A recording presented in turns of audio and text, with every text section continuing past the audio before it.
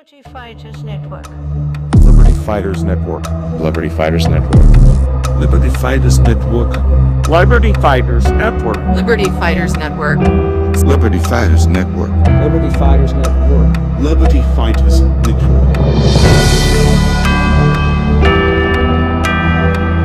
Liberty Fighters Network.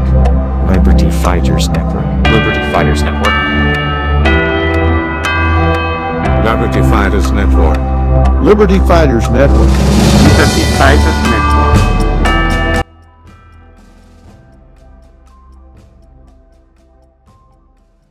Good day, liberators and fellow South Africans. Um, yeah, um, Friday has come and gone, and Cyril Ramaphosa has been re-elected as the president, um, thanks to the support of the DA, Democratic Alliance. Um, and, and I'm just sitting here to wonder what what what are the the DA supporters say? What do they say? Because I know for a fact that that from from those that I know who voted for the DA, they voted for the DA because they thought that the DA is going to oust the ANC and get rid of Cyril Ramaphosa and to start a new government, a real new government. But they did not. They've deceived the people. And what is the, the media, because of the blackout of the real news, the real news people, um, what what the the media is not telling you is what happened behind the curtains or is happening behind the curtains and it is so important to know. And they keep on to conceal the information. They keep on doing that. Um, for how long they're going to to, to do this, I, I honestly don't know because it's so important things that's happening where we are personally involved in, which are happening behind the scenes, and uh, and, and uh, they cannot conceal it. And the fact that they are not mentioning it in the media confirms that the media is colluding with one another, all of them. And um, what I need to share with you is that you you know about the Constitutional Court IEC case against Jacob Zuma and, and the MK Party, and I've made videos about it. Go and watch it. I know that it's long. Take the time to go and watch them, both of them, part one and part two. I've revealed critical information that you, as a citizen of South Africa, must know. And unfortunately, due to the fact that that information did not get out before the elections, have clearly impacted on the outcome of the uh, of the elections. I truly believe that if that information was sent out, and that was the reason why the media did not tell you about it. Because if that information went out, much, much more people would have voted for the MK party and for Jacob Zuma and would have supported them. M- many more, and many from the ANC, many from what, what eventually got uh, votes for, for, for the DA. But the fact is, let me, let me explain.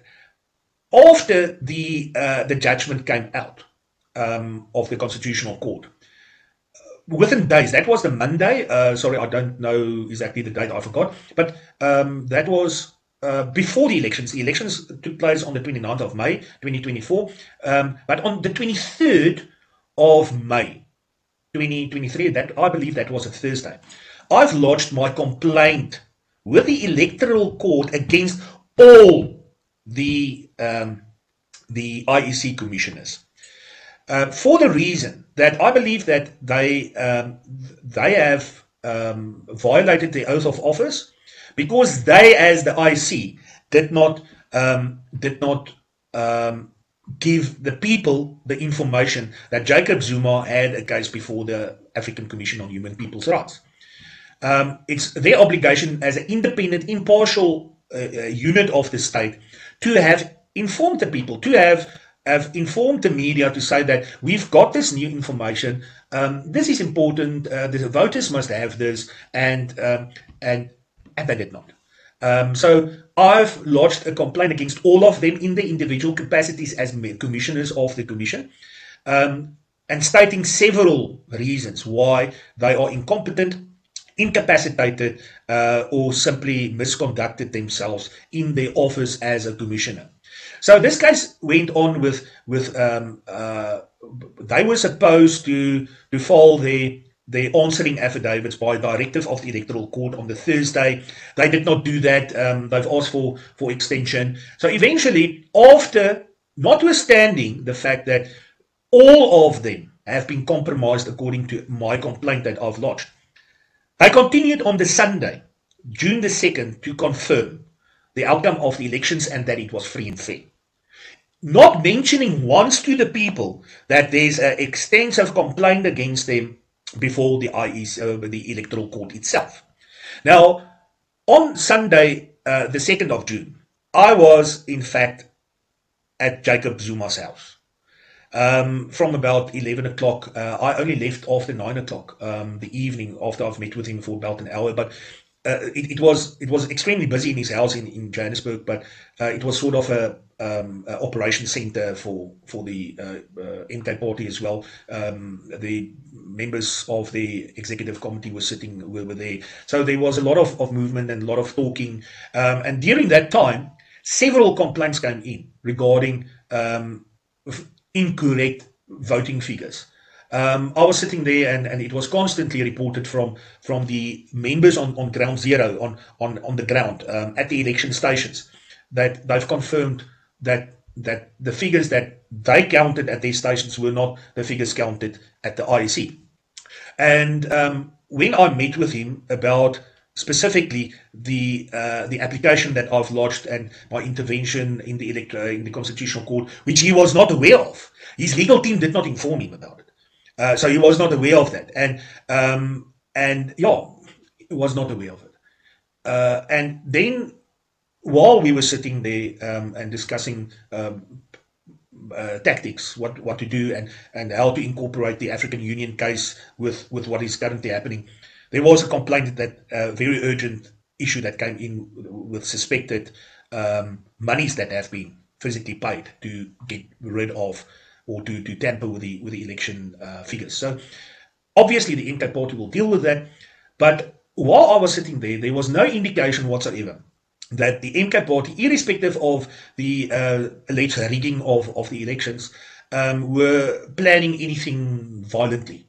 They were all open-head. Um, Jacob Zuma was was constantly saying that no, we need to do this diplomatically. We need to tackle this this uh, um, head on, and um, and we we realized that there would be people out there who our enemies in general who will who will invent and and fabricate inc- incidents to implicate MK or Jacob Zuma, as they did in July 2021, and eventually the South African uh, Human Rights Commission found that there's no uh, indication that um, the although they coincided, there was no indication that the uh, July 2021 um, unrests in KZN was due or ins- ins- inspired by Jacob Zuma, his imprisonment then.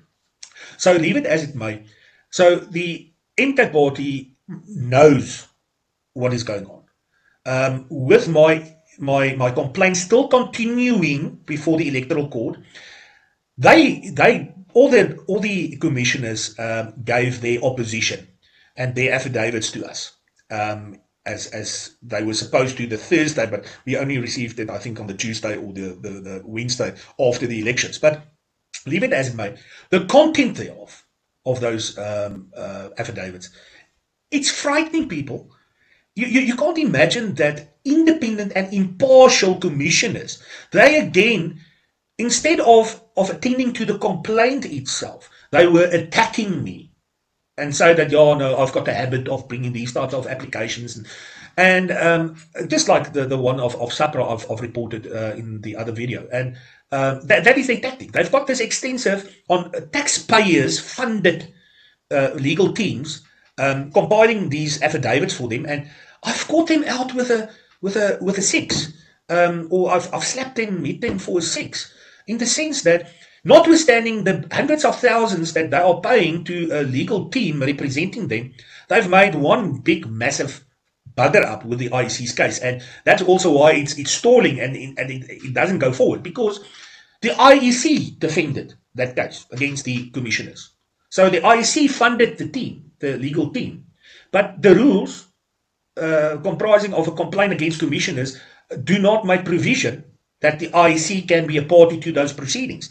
I've merely cited the IEC in the complaint because they are the authority and the uh, and, and, the uh, interested party. But it did not give the IEC the opportunity and the right to have physically defended the case as the IEC and also on behalf of all the commissioners.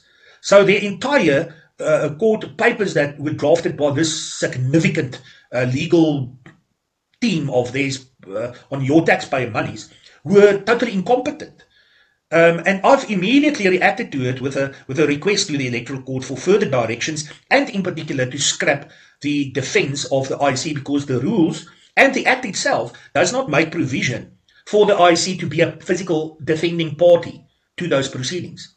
And um, since uh, I've, I've seen that off uh, the beginning of, of this week, um, this past week, and um, I've I've never received. In fact, no, it was last week, but I never received um, directives yet, notwithstanding that the electoral court received them.